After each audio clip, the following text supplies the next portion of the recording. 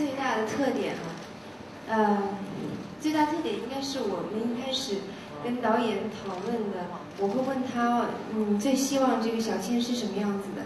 然后他当时给我看了一个，呃，建议我看一个动画短片，不动画短片，动画长片，嗯，叫那个《飞屋环球记》，哦，里面有老太太，那老太太让我看完之后我也一惊，我说这个有什么关系？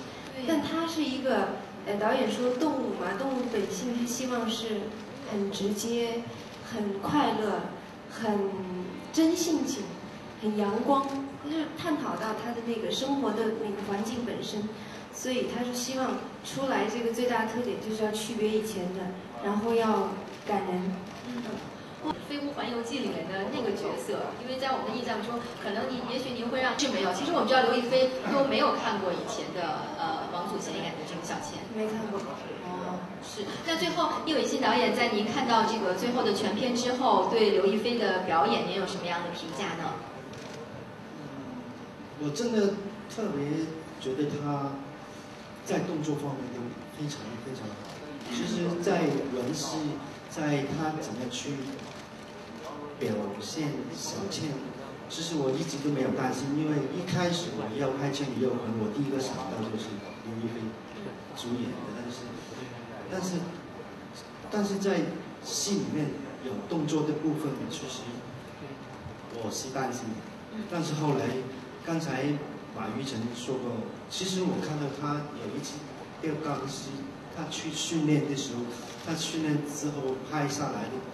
片我就觉得哇，他真的比一个我好更好。你刚才刚才画面有一个，对，有一个吊威亚的那个非常非常非常对就是。他是。他自己，所以呢，我觉得他是。一个有可能他是。一个动作演员，可以做。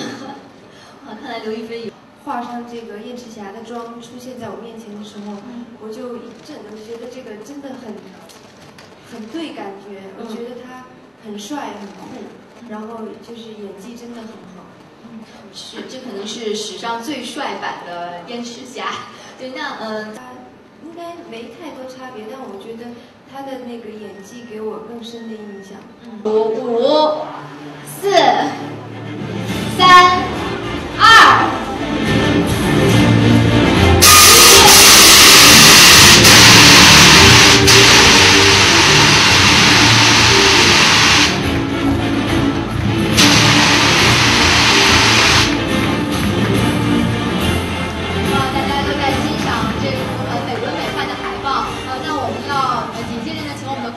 来我们的事情发生呢我们再来一起倒数五四三二一。